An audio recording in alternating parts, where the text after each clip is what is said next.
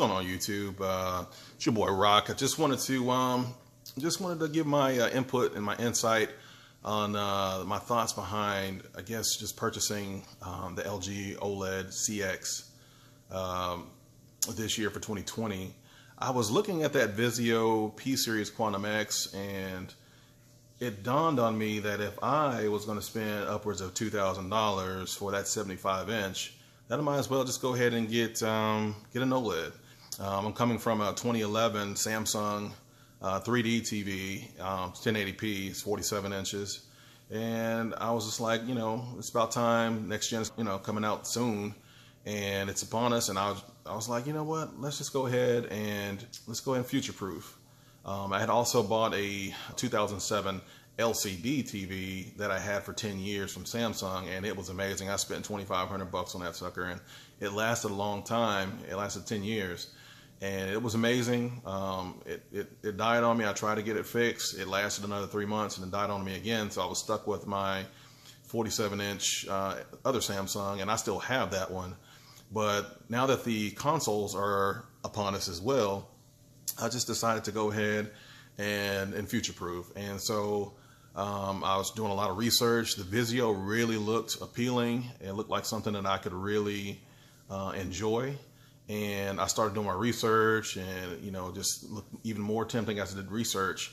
But come uh, as we progressed to the release, um, they, Vizio just started looking a little suspect to me. It started looking like maybe they weren't going to put out the 65 inches on time, and they really weren't forthcoming with the, uh, you know, where they were going to have FreeSync. And so my whole thought process was, okay, well, if I'm going to spend in $2,000, since they don't have a $1,500 65 inch, I might as well start looking at OLED. Um, I looked at Sony, uh, I looked at Samsung. Samsung doesn't have a lot of the features that uh, Sony and LG have, and you're paying a premium. So um, just my thought process was, okay, well, Vizio has, they support, you know, Dolby Vision, HDR10, HDR10 Plus. And I was like, well, I mean, if I'm going to spend upwards of $2,000, I would like my TV to have all those formats and support it, you know? And Samsung did not. And they only have HDR10 Plus, even though their, their picture is immaculate. At $2,000, I started thinking, okay, OLED is looking even more tempting. And then you start hearing about the brightness levels. Is it bright enough? Well, I have a window to my left as you're looking at this uh, video. I have a, a, window with full brightness, the sun coming through, and I mean it's still. This is you know 12 o'clock during the daytime, and it is completely bright. It's more than bright enough, um, you know, for day to day. And this is at like 80% OLED light, so I can go even higher than this. And also, as far as gaming, I mean, this TV also has those four uh, HDMI 2.1 ports on the back. I mean, you guys know the specs. I know you've, you've seen all the videos that are on YouTube. But I mean, as far as gaming, this is this is next gen ready, and I'm going to be getting the PS5. I'm going to be getting the Xbox Series X, and I mean, I'm just I'm wowed. I used to be an avid gamer, and now as an adult, you have to you know prioritize and all that kind of stuff, and it's you know it's a little daunting sometimes. But I'm I'm ecstatic to have this TV. Um, I mean, OLED, there's this, I don't know if there's any other technology currently that, at least for the next five to seven years, that's going to be on the same same uh, playing field as OLED. Um, the self-lighting, uh, self-emissive uh, pixels, they're amazing. And um, I mean, you just get some of the sharpest image quality that you can get. And I am ecstatic about um, the PS5 and the Xbox Series X. I'm going to get both of them. Um, I do see that PS5 has better games, and I'm looking forward to playing a lot of those uh, adventure games and action games. Um, the Xbox might have uh, a leg up as far as picture quality, but as far as games are concerned, PS5 it is for me. Um, but and for movies, I'm going to keep it 30 30,000 foot view. This TV is amazing. When I watch movies, um, I've played some games. I played Modern Warfare on this thing. I mean, just for the my needs, this TV is hitting on all cylinders.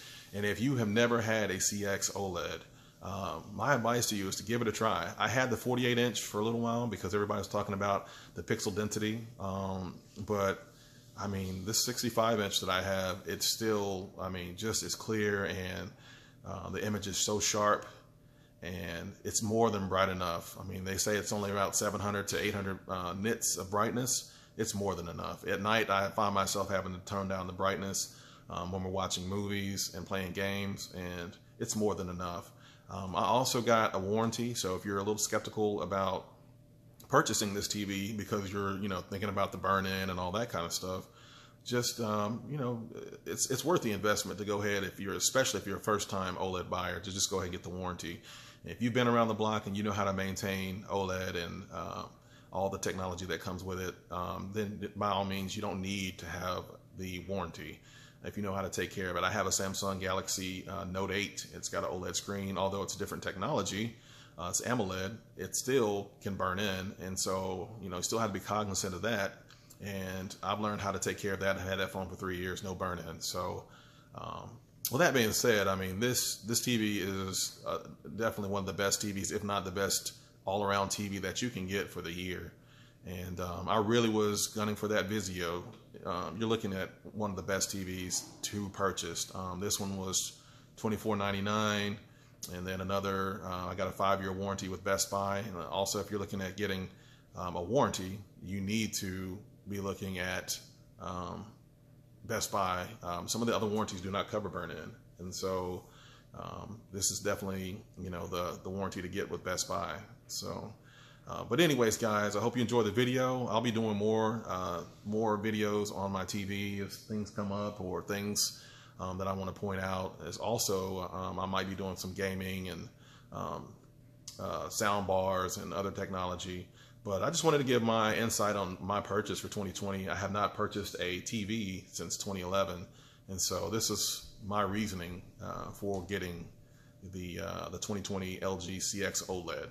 And I hope you guys are doing well. Stay safe during this uh, crazy time with coronavirus. And uh, game on.